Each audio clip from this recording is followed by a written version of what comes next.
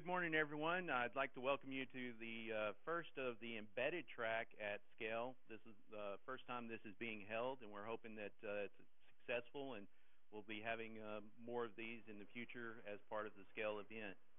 Um, my name is Dave Anders. I'm with the Intel uh, Open Source Technology Center, specifically the Minnowboard.org group that uh, does open hardware. And um, just want to reiterate a couple things this morning that the lunch is supposed to be at uh, 12:45 to 2:15 uh, today for the embedded track. Um, our first speaker today is uh, John Hawley, who is also with the Intel Open Source Technology Center, and his presentation today is going to be about uh, teaching fish to fly. And so, with that, I'll turn it over to John. so, thanks, Dave. So, uh, you know, it's 11 o'clock in the morning. And of course, the first thing I'm going to do is show you a five minute video. And the room's slightly dark, and you're you are all going to be asleep by the end of this video, I'm sure. Um, so the video you're actually watching was taken by this quadcopter at the Albuquerque Mini Maker Fair in August of last year. Um, and the re- th- there's a very very specific reason I'm showing you this video despite the fact that it looks gorgeous and it took me like three hours to make and I'm showing it to everybody, um, is because there's a very simple rule. Everybody who has a quadcopter wants to pretty much do one thing with it. Oh, hey, there, there's actually. Oh, I can hear the music. Sorry. No, I actually want that music to be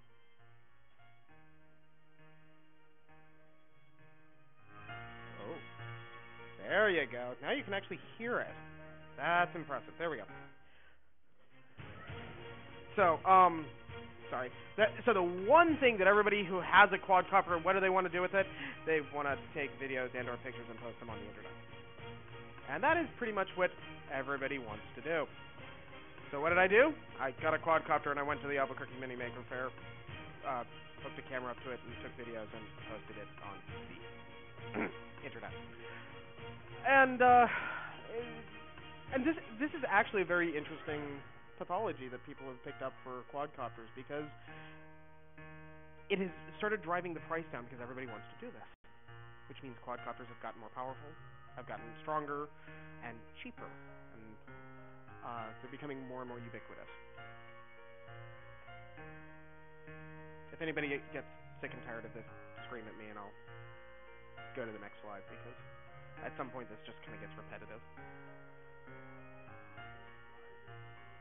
I was driving this at this point. The quadcopter was not uh, far enough along on its integration with what I'm going to talk about the rest of this talk uh, to do this on its own. Um, but there's also rules about with the FAA that you still have to have con- uh, backup control, et cetera, et cetera. So.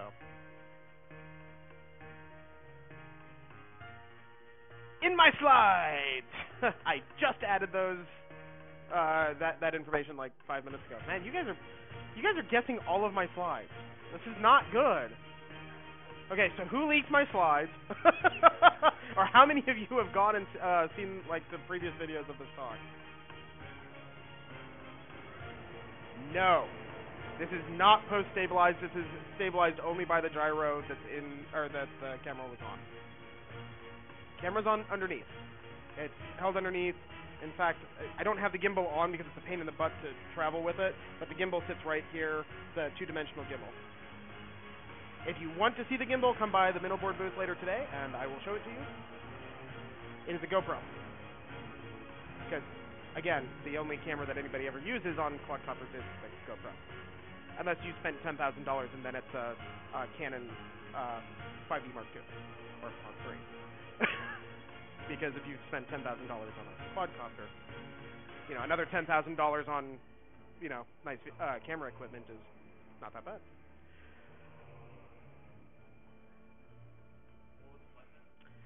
Flight time of that particular drone is about 15 minutes.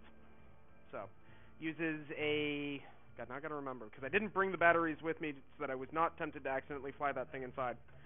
Um, yeah, as you can see, flying that inside would probably um end in maiming, dismemberment, and or death. Um, and I'm pretty sure Tom would not invite me back next year. Um, No, yeah, it, it would not. Yeah, it would, it would not end. Oh, I'm still playing that other song in the background. I should probably kill that. Totally not playing. I'll be we're gonna kill that before uh, I get in trouble. Do, do, do, do, do. I forgot to do that. Um. Uh, start from current slides. Anyway, so you missed out on the uh, the ending of the uh, the video, but that doesn't really matter. I'm John, also known as Warthog9 Hawley. I work for Intel's Open Source Technology Center, as Dave happily pointed out. Uh, I am the open hardware technical evangelist and or the Minnowboard evangelist and or the poor guy who has to do everything on the Minnowboard that isn't already being done. So, um, that includes doing up interesting demos and talking about all kinds of things in front of you nice folks. I, uh, you know, to be honest, I am floored by how many people are in here. So thank you for the poor people who are stuck sitting on the ground and all the standing room in the back. This is kind of impressive. So, th- what is this talk actually about? Other than me showing you videos and talking about quadcopters. The real answer is, is that the Internet of Things, i.e., the embedded world, because IoT is nothing but the new uh, cloud word. Um, which I'm sure many of you are going to nod your heads to, um, is exploding right now because everybody's realized that computing, we've now gotten to the point where computing is low powerful enough and enough horsepower to do some really impressive things. And as time progresses, thank you, Gordon Moore, uh, this is only going to get, we're going to be seeing more and more computing power at the edge and doing more and more interesting things. And this talk is, uh, you know, I'm talking about UAVs and I'm talking about quadcopters and whatnot, but really what I'm talking about is the proliferation of this compute power down to devices that we we have never even considered even five years ago, maybe uh, you know not even ten years ago, that would have the computational power that we've got. I mean, quadcopters, uh, you know, for sub three thousand dollars that are uh, that have you know full computers uh, bolted to them and flying is you know the things of is the the description of science fiction you know, the Dick Tracy watch. Congratulations, I'm wearing effectively the Dick Tracy watch now. And we are living in the future. and the future is going to do nothing but keep coming in reminding us of this. And the other reason that I want to talk about quadcopters is that battery technology very specifically has advanced substantially uh, recently, and which makes quadcopters fundamentally possible. Um, quadcopters are very uh, very sensitive to weight, and the more weight you have, the less flight time you have, assuming you can even get off the ground. So, and like I said before, what is the motivation for most people to even get into the quadcopter uh, hobby and or business? They want to take cool videos and post them on the internet. So, including for your conversation about, or including for your presentation about quadcopters. So, the reality is is that this entire talk and this entire project started in uh, 2013 at the Embedded Linux conference in Europe, where a good friend of mine, Elizabeth Flanagan, uh, uh, brought a blimp and I brought a dog, and there was a race to see who could get, you know, go in a straight line and come back fastest. Turns out that despite the fact that she was flying, the dog won, mostly because. Uh, uh, Beth, in her infinite um, sanity, left the uh, the control channel mechanism up to an intern, which you know that, that that's a bad place to start. But the intern decided that the control channel should be uh, a point-to-point wireless link, you know, 802.11, you know, BGN, and this is a conference. How many people think that the uh, wireless works here? Because I'm actually really impressed that it does.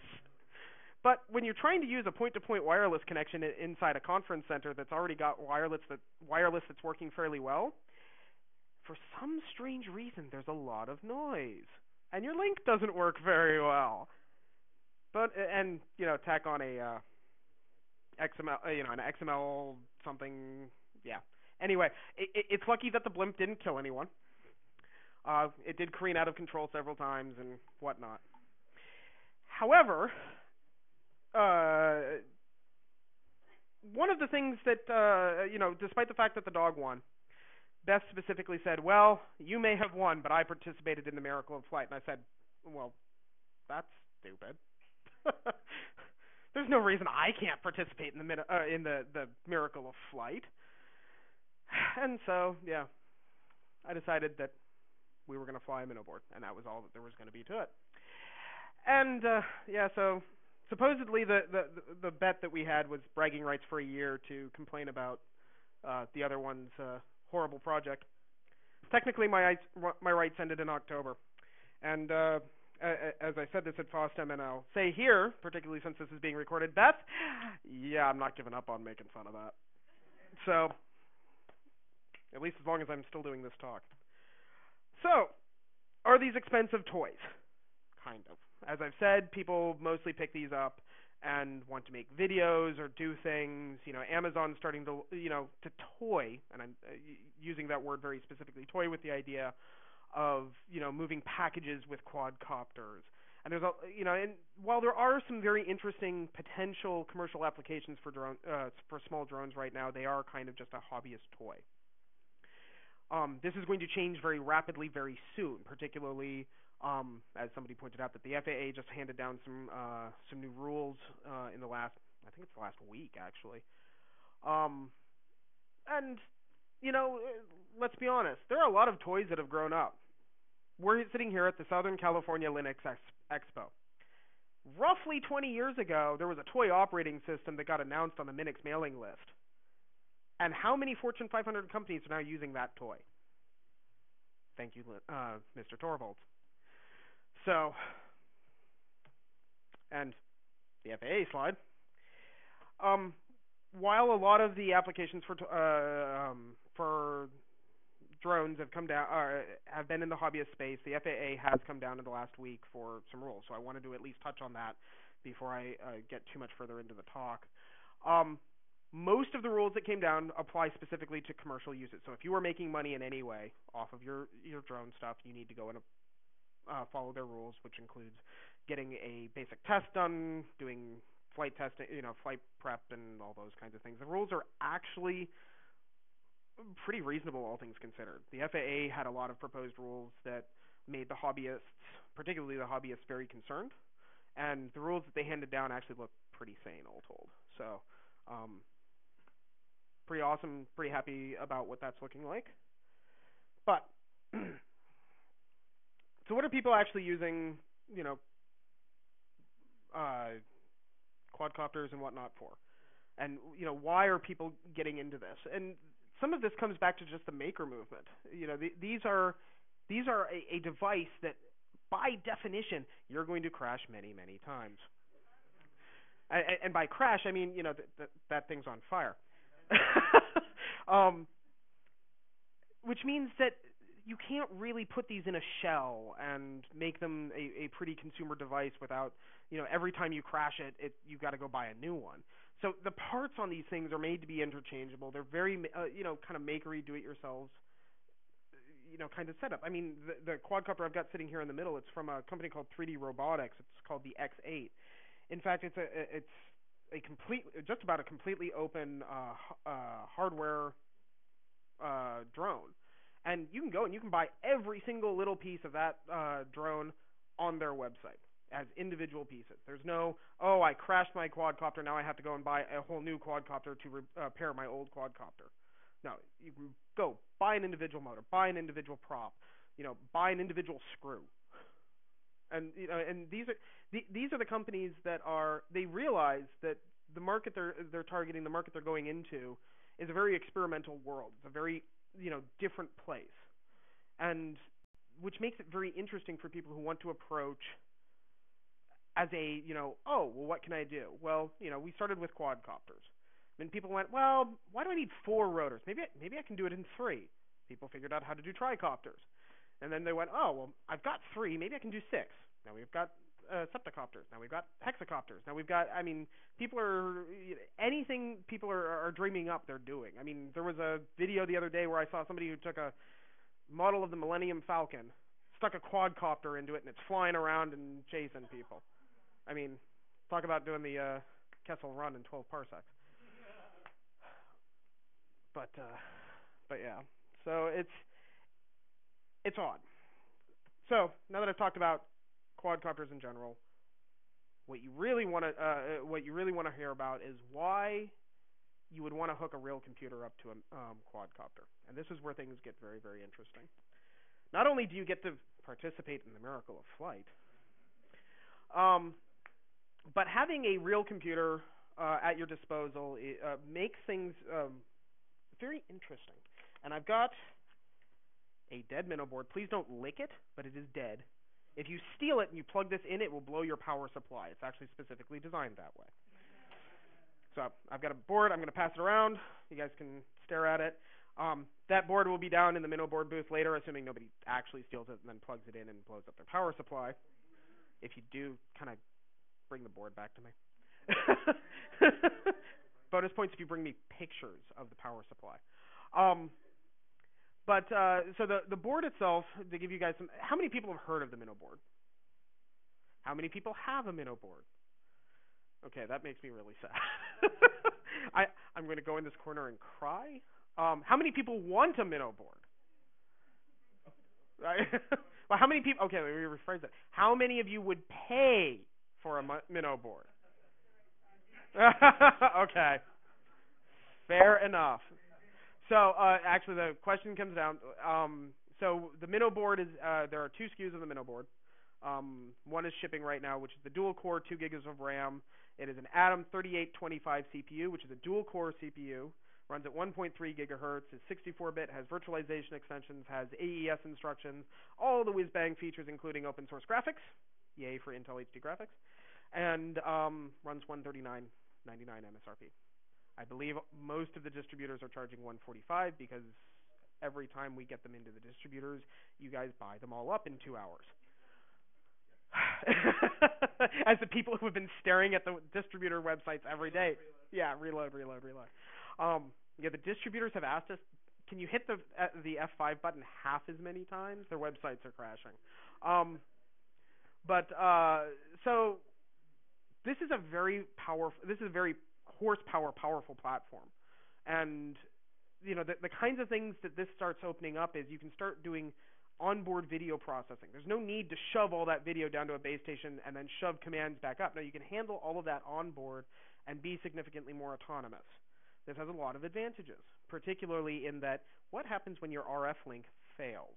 Because, you know, Wi-Fi in a conference center totally, totally works, right? But um, you know, so you can do that. You can um store more video. So if you've got you know a fair amount of storage on your device, you can actually store longer and higher definition uh, video. Now, yes, you can do this with a GoPro, but maybe you also want to process that video to do other things, as in you know in-flight computer vision. Um, and it starts opening up some interesting other options like collision avoidance. Now, that quadcopter that's sitting on top of that uh, projector runs about it's it, I want to say around three thousand dollars. How many people would love to see that thing crash?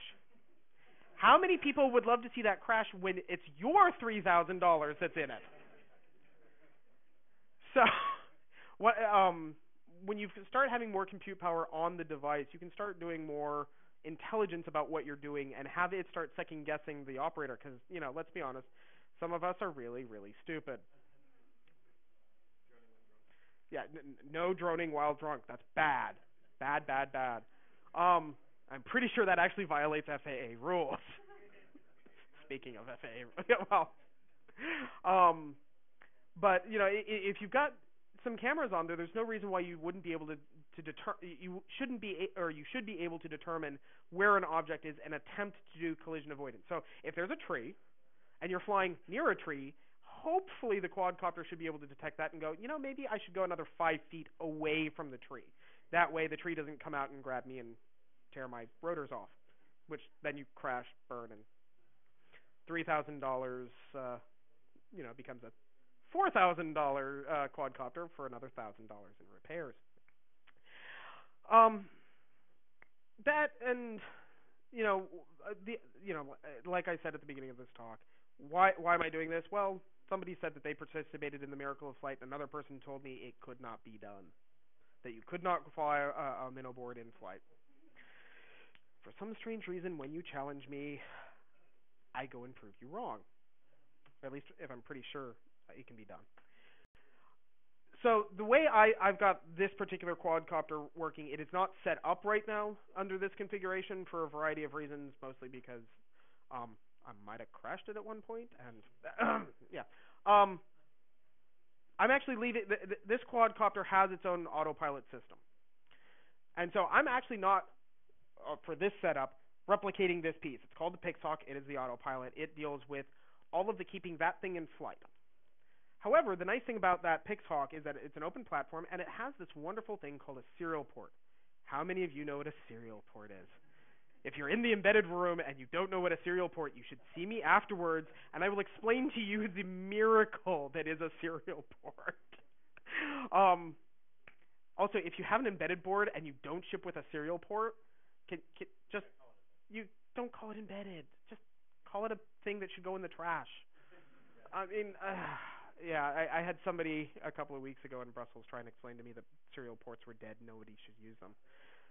This conversation did not go well for them. um, but um, serial ports are amazing things, and uh, it, the nice thing about the serial port on the Pixhawk is uh, you can actually interject commands into the flight controller about you should go here. So you know, like I said, when you wanted to tell your quad or your quadcopter to go five feet more away from that tree, that you can actually read out. Well, you're here. Maybe you should go five feet that other way, and you can interject those kinds of commands um, using a standard simple serial port. It's not necessarily the fastest thing, but it works. Which means that I can do I can leave the minnow board to do what it does best, which is, you know, do heavy duty kinds of calculations that this thing, this is basically just a, a very small ARM processor that's honestly not a whole lot much more powerful than an Arduino. But it does one thing and it does it very well, and it keeps the um, drone aloft. I'm sorry. It does have GPS, and you can read out some of the GPS data over the serial port. Um, that mask thing that's on top, that's actually the GPS um, antenna and there's really good reasons why you raise the uh, the GPS up away from all the electrical noise of the rest of the system. But the minnow board, what you can do here is um, do all your vision processing. It's isolated. It's not going to uh, necessarily interfere with keeping the drone aloft, those kinds of things. It also um, uh, also means that if for some strange reason you wanted to swap out the minnow board, you could swap it out for a different board. Maybe there's a new version of the minnow board. Maybe there's an ARM board that's better than ours. Haven't found one, but you know, if you find an ARM board that's better than ours and you want to replace it, you can go ahead. But uh, I do not have any FPGAs. No. So, which then leads to the obvious question of, so why do I not want to use the Minnow board as the flight computer itself? So, there are reasons why I don't want to, and they mostly involve I'm a lazy bum and uh, having the minnow board communicate directly back to the uh, the flight computer via the serial interface is really really easy, and it means that I don't have to recreate all of the work that everybody's been doing on flight controllers. However, there is a gentleman down in Malaysia who has been working with the minnow board. His name's uh, I'm going to butcher his name. Uh, it's Keen Nam Yo. And Keen, if I've pr- mispronounced your name, please send me an audio file so that I can stop mi- mispronouncing it. Um, he's actually been doing some really fantastic work, um, and he's got a minnow board, and he's been bolting it into his own quadcopter.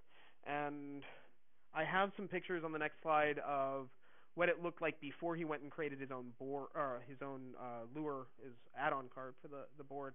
But he basically takes the minnow board, leaves it as uh, the flight computer, adds a GPS, some accelerometers, gyroscopes, and he hooks these all up to the low-speed pins. Which, if you haven't seen the board. I have no idea where it's at in the room. Uh, yep, go for it. So it is and it isn't. It um a lot of the software that's out there that's dealing with quadcopters, I agree you can, you know, control a number of servos, but it assumes a separate PWM channel per rotor. So uh, yeah, it, it's yeah, it, it's it's messy. Um mostly we get yelled at that we don't have a lot of PWMs, and the reason we don't we only have two P- PWMs on the minnow board is that is what is on the SoC itself. And not to interrupt, but as oh. far as the PWMs are concerned, The processor itself was uh, designed for mobile applications in a lot of ways. So the PWM is generally used for backlight control and uh, control of LEDs on a, on a device. So the frequencies that it can support are not necessarily the same ones that you want to use with servos. So although it does have PWMs on there, they're not really good solutions for driving servos. Yeah.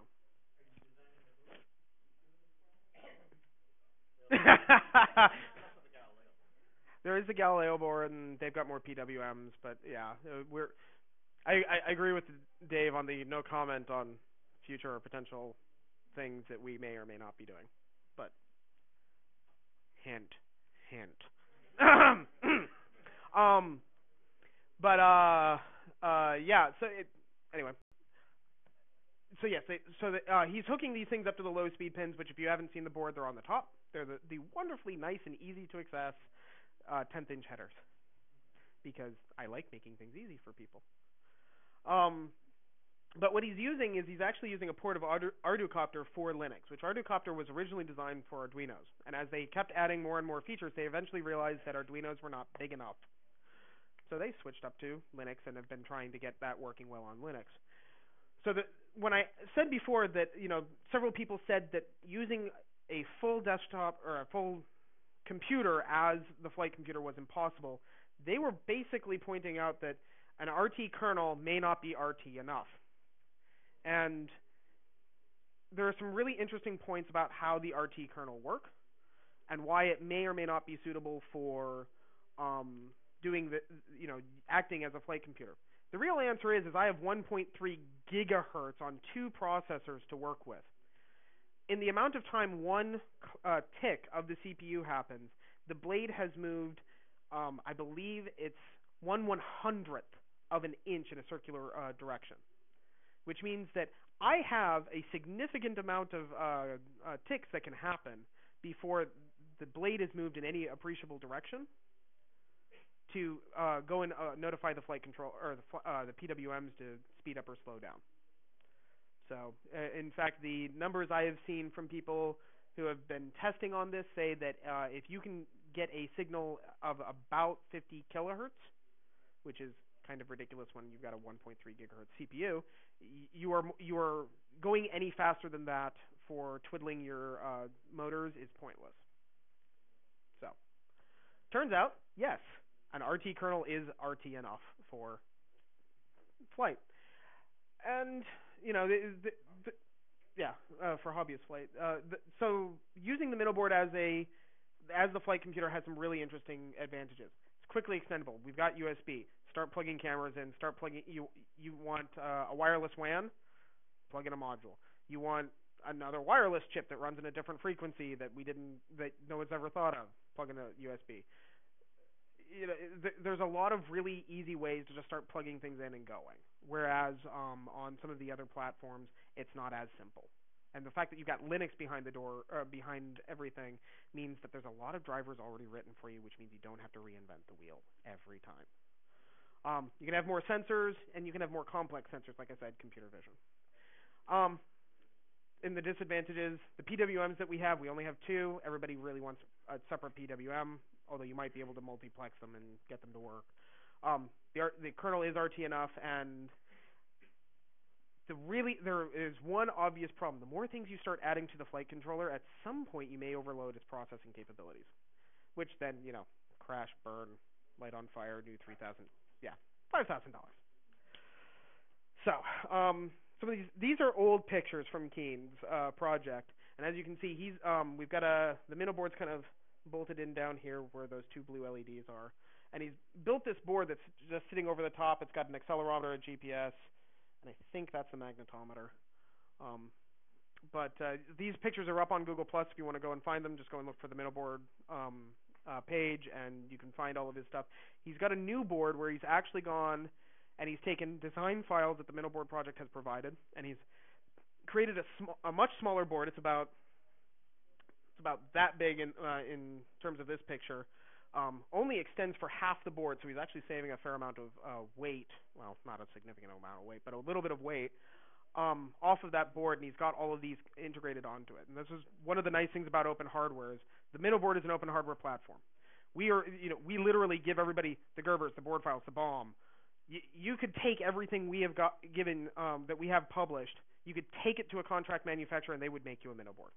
It probably wouldn't cost you $139 in the size of run that you would make, but if you wanted to make modifications, say you don't want the Ethernet port, you can start deleting it. Deleting is really, really easy. Delete, delete, delete, delete, delete. Um, and uh, the the other nice thing is that we've also we provide libraries and footprint, you know, basic boards to allow you to go and create your own add-on boards. So that 10th inch header that's on the top, we've got boards that click into place and have the same mounting hole, so it's really easy to stack things. The um, header on the bottom, which is a 60-pin high-speed header, we've got PCI Express and those kinds of things. If you want to go and do differential uh, paired signaling, which I hear KiCad uh, can do that now, uh, as of I think what three days ago.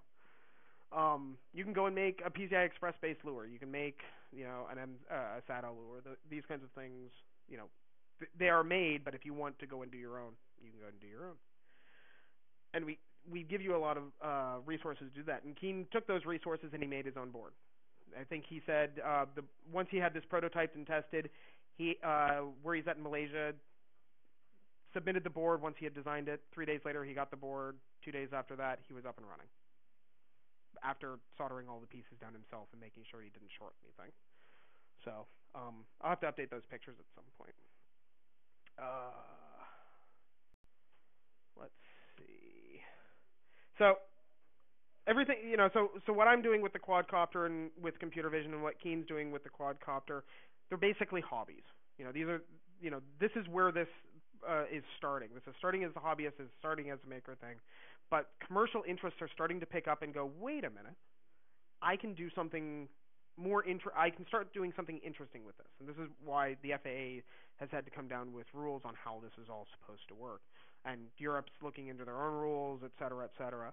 And right now we're kind of in a the wild. I'm going to say the wild, wild west um, in what's going on because there hasn't been a lot of regulation here until about now. But um, you know, folks who are do, using these in real world applications to actually do useful things, other than taking videos and posting them on the internet. You know, disaster recovery stuff. You know, there there are drones that are now going out with first responders into you know the, the woods. There are uh, drones that are going out and doing surveys of wildfires because they can get closer and they can um, move faster and more precisely than an overhead aircraft or an overhead uh, helicopter. And for the cost of what a heli- you know a proper helicopter and a proper and a pilot, you can have 20 or 30 you know uh, you know UAVs easily flying around doing uh, wider range surveying, and this information is insanely helpful to, uh, to first responders, depending on where they're at.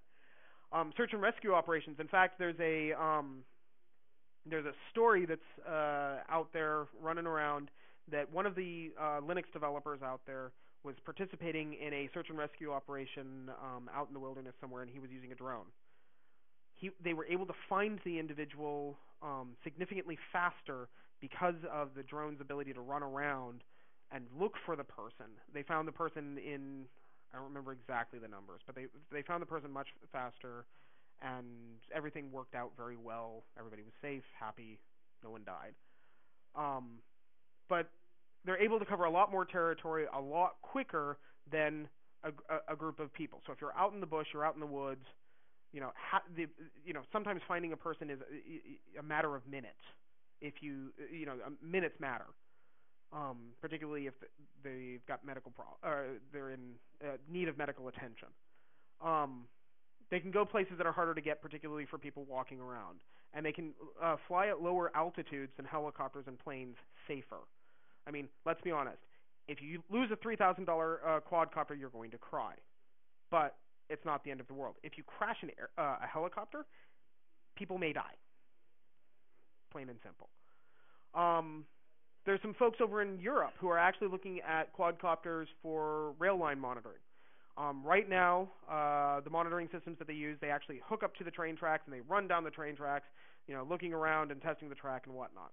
However, once you've placed one of these devices on the train or on the track, that means no trains can go through. And this is a problem because you know rail lines uh, uh, um, need to manage everything very very carefully. What they're looking at doing is actually flying an entire fleet of drones over the rail lines constantly to look for people on the tracks, uh, check the tracks. I mean, it, landing on or near the tracks with a, a camera, taking a look at it, and then you know hopscotching. You know, if a train hits a quadcopter, okay, yeah, the quadcopter's toast. I mean, let's be honest. Cars are toast when they get hit by a train. But I mean, three thousand dollars because somebody screwed up and or something went wrong. Oh no but they can also, you know, like I said, they can monitor for people on the tracks much easier. I mean, you hook up a thermal camera to this, and you can see a person pretty much plain as day on the train tracks, and you, this is awesome stuff. So, and um, for anybody who's uh, ever done anything with uh, farming, crop analysis, and you know, farmers farmers have a hard enough time, particularly family farmer family farmers. Um, just making a dollar. And if they can um, make their land, you know, even five percent more productive, it is worth every penny to them. And so, you know, being able to wander around in crops, not damage the crops because you're out there physically wandering around, this is awesome stuff for them. So, I've mentioned all these random pie in the sky things that people may or may not be doing. Let's talk about something that's actually being done. The University of Washington in Vancouver has a project with the U.S. Forestry Department to go out and model trees. This sounds really, really boring until you realize why they're monitoring them. They go out and they snap thousands and thousands of photos of these trees, go back, spend 20 hours processing the photos to get a 3D model of the tree. And they may drive six hours to get to that one tree and then drive six hours home. Process this stuff for 20 hours and you're looking at like two or three days worth of just effort to model a tree. And the reason they're doing this is they uh, go back to the same tree or the same set of trees, and they mon- and they, they they scan them like every year, every six months, to figure out what is going on with the greater forest. They're using them as a sample size of you know how is the tree growing? Is it you know significantly bigger? Is it significantly smaller? Is it um, you know how is it changing based on you know the weather that's going on. And they start building up these models over time and you can start seeing literally um, what's going on with the forest. And uh, so the way they had been doing this is they would take a quad like i said they would drive six hours. They'd have like a gopro mount. They'd run this quadcopter around manually pack everything back up go back and process for 20 hours and then realize that there was a sunspot in pictures you know 5000 through 10000 and half of the mo- uh, half of the 3D model was um, completely useless, and the entire model as a whole basically failed. This is a three days worth of time to realize you failed. So they actually came uh, to us uh, recently. I guess about a year, now, almost a year ago now, and um, yeah, okay. Those are pictures of their quadcopters. I've pretty much said everything on this slide already, but um, they came to us and they said, okay, look, this is ridiculous. We've got to have more compute power on uh, the flight platform as by itself. There's no way that we can beam this much data down because they're taking ridiculously high resolution uh, photos. Their uh, uh, their current uh, mathematical models suggest that they are getting down to five centimeters of accuracy on the entire 3D model which is you know it, there's been some recent things about you know oh we're going to model trees from you know satellites or planes and whatnot. Their accuracy is measured in you know a foot. These guys are talking about accuracy of you know five centimeters, so about like that, give or take. So um, so they wanted to move all of this processing to the quadcopter itself or at least try and move as much of the processing to the quadcopters itself. So by the time the quadcopter lands, it has either made intelligent decisions about, oh, there really is glare there, I should land, wait, uh, you know, an hour or two, um, and then retake this section of photos, or actually be able to have a preliminary 3D model by the time the quadcopter lands. Um, and in fact, uh, the last time I talked to them, which was in December, they were at the point where they, they were actually doing basic 3D modeling by the time the quadcopter had landed. They had a, a, an initial model. So what was taking them you know, however long it took to get to the place, get back and process for 20 hours. They were now, by the time the quadcopter was landing, they had an initial, very inaccurate, you know, not five centimeters, probably a couple of feet worth of 3D model, but they had an initial 3D model and they knew whether the, the uh, once they went back and processed all of the, the data, that the model would be good. In fact, they've also cut their 3D modeling time because they've got other referential data to base the uh, where the picture was taken on from 20 hours down to I think it's 10 or so now. So there's a there's a lot of really important things that have happened here, and because they've been successful with this, they're actually tr- um, trying to convince the U.S. Forestry Department to expand this prod uh, this project out to other um, areas of the country. Because right now it's mostly being done in the Pacific Northwest, and if they can start getting this data across, you know, this common data across everywhere, this is really important to the U.S. Forestry Department. And in fact, it goes beyond that in that the quadcopters that most of the Forestry Department is flying now cost ten, twenty thousand dollars. They can do more with a three thousand dollar quadcopter now. So your tax dollars at work. so um, I'm winding down at this point. I've got a couple of quick announcements uh, before I start taking any and all questions. Um, the Minnowboard team just released our 077 firmware, um, which has a, obviously our typical pile of bug fixes. And 078 is just around the corner, so if you have a Minnowboard right now, we're about ready to hand you another 5% performance for free. Um, we got some new memory timings that have been, it's, well, I, I don't know. I say it's 5%, but I'm probably being more conservative. Dave Anders in the back has been claiming 10 to 15. So, we'll see who's right once uh, the firmware goes out. But uh, um, basically, we made things faster for you. Present. Um, uh, we're down in booth 64. Uh, we're in a corner. We'll have the quadcopter down there. We've got K9. Um, might have lit him on fire yesterday, and um, um, he got better. He's going to go for a walk later today, but uh, yeah, he got better. And I believe I, I don't know the exact details, but I gave two minnow boards, two scale to give away uh, this weekend. I'm not exactly sure how they're going to give them away. I believe they might be doing them in the keynotes. So uh, you should go to the keynotes. Hint. Um, and stick around, and there'll be two minnow boards given away. So um, I will take any and all questions. Quadcopter, Minnowboard, why the sky is blue, why I'm silly and ridiculous. If you have a question, I'll hand you the microphone. Yeah. Hi, uh, do you have a power consumption breakdown for different components on the board under different loads? So the wiki's got a rough, very rough estimate of what each component is going to draw. The um, the CPU itself is I where the 3825 is a six watt. That's not is it five watt? It's five watt uh, total uh, thermal dissipation. So at its worst, it pulls five watts. Um, and you know, it, and the rest of the components, I mean, uh, USB is pretty easy to calculate because that's up to what is it, 900 milliamps and et cetera, et cetera. So I, I mean, we've got a basic breakdown of what or how much power the Minnowboard is going to take. From a flight perspective, how much power the Minnowboard uses is nothing. I mean, the the motors themselves use 38 amps of power. So. Okay. Thank you.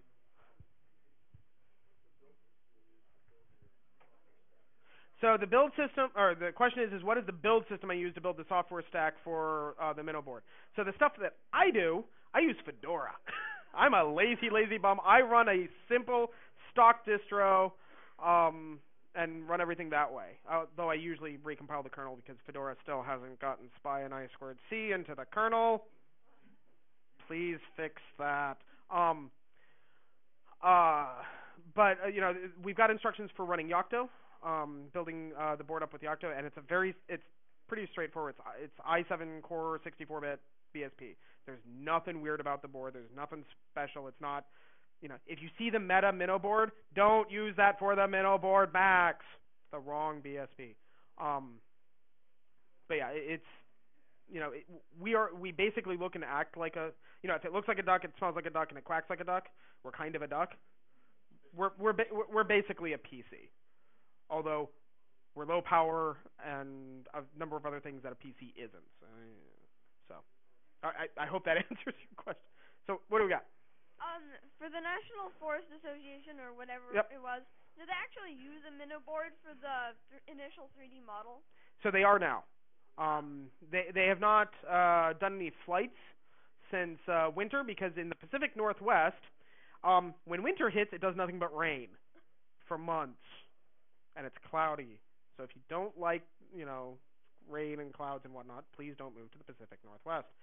Um, so they're, they're expecting their initial test flight with the Minnow board to do the, this stuff uh, outside of a lab setting. I mean, they've gone into like gyms with with large open spaces and done uh, experimentation.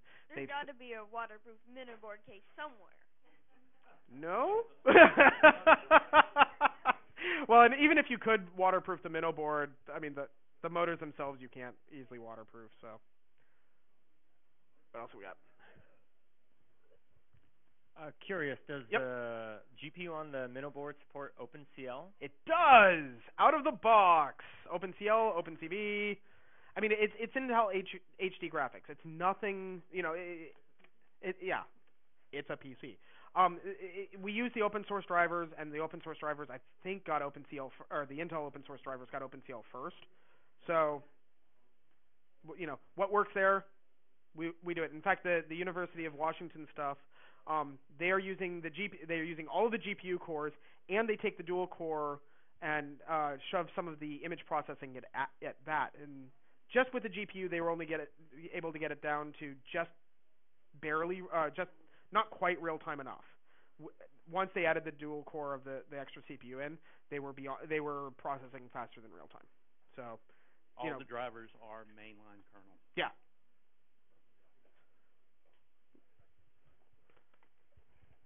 This isn't necessarily a question about the Minnow board Mhm. specifically, but on this platform, hmm how much extra weight capacity do you have? about five pounds. Oh, wow. So, um, some of that's just based on the fact that uh, I've got eight blades counter rotating uh, against each other, and some of that's just uh, it's a fairly well thought out platform. So my hat goes off to 3D Robotics. I really like uh, the platform. Hang on. So you said that the uh, drivers are all open source now. Yep. That is awesome. The early Atom ones were such a pain. But Yeah, uh, so which which is it equivalent to in the the desktop terms? What's the So uh, the the CPU that's on the um, the Minnow board is a 3820 E3825. It's basically the same CPU that's on all the Chromebooks. or at uh, least all the Intel Chromebooks. So um, it's an Atom. So and and our firmware is open too. Like I said, or well, I don't think I actually said it, but yes, you can go out to tianocore.org and you can download our firmware and get our binary, uh, our few binary blobs that we can't convince the rest of Intel to open source. And so you had a question. There, in this one, there is a uh, there is a Pixhawk, so that is a, that is the flight computer for my setup. Yep, I just hooked up with a serial port. What do we got? Um, I see you using a Spektrum transmitter. How are you using that to integrate to the Minnow board? So on this setup, since um, I'm uh, forking off all of the flight computer stuff to the Pixhawk, it interfaces directly to the Pixhawk. So if the Minnow board was attempting to um, try and issue commands, and I had overridden it uh, with the the flight controller, um, those commands would be ignored. So on Keen's system, I'm not exactly sure what his um, override signal is um, to deal with that, but I can go look it up if and get that out somewhere um, if you're interested. Any other? Oh. And I didn't do any. Any hardware in the loop simulation for my setup? No. Uh, Keen has though, and in fact, uh, before he went and he made the his uh, specific daughter board for uh, his platform, he had hooked everything up uh, into the test mode with Arducopter and was verifying that Arducopter was, you know, seeing the accelerometer, getting all of the gyroscopic data, that the GPS was actually communicating correctly. So he he uh, he's got videos up of, of that. Uh, if you go to the Minnowboard Google Plus page, you can find him like moving around a little board and things happening on the screen. So So back to your uh, flight computer yep. uh, and and the Minnow board being Yep. a flight computer. Is Keen doing any collaboration with uh, Andrew Tridgell, who did the? I, I don't know if he presentation on- specifically talked to Andrew, um, but Intel is part of the Drone Code project. Okay. uh, from the Linux Foundation, and uh, we have people inside of OTC who are you know working on drone code you know, drone code stuff and whatnot. And we are trying we are we uh, we as Intel are trying to make sure that you know things like Arducopter and you know the PX4 software and whatnot um, are Intel compatible. You know, will run on Intel software or the, we make hardware on Intel hardware um, as well as they run anywhere else. Okay. So Okay. Yeah, So- that struck me. yeah. considering Tridge did a similar thing with Arducopter and Yep. so great, thanks. Yep. Anyone else? What else? we- I was gonna say, putting the Minnow board on this, uh, basically I take some uh, commercial grade uh, um, Velcro, Velcro it to the top, a small wire from the Minnow board into the uh, serial port, and uh, um, an extra battery. I end up slapping an extra battery on just to power the Minnow board because I'm lazy, and for some strange reason, I think the power that's coming out of these, you know, 38 amp batteries are might be a little non-clean. You know, just funny that. 15 minutes. So, I think the longest I've uh, heard of a quad staying aloft is two hours. But you know, the quad's like six feet across or something. It's I don't know. It's crazy. Yeah, I think so. Anyone else? Bueller? Thanks, John. Uh, it's a good presentation. Thank you.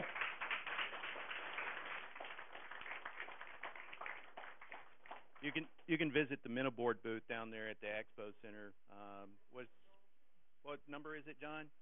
Sixty-four. Sixty-four. Booth number sixty-four. Thank you.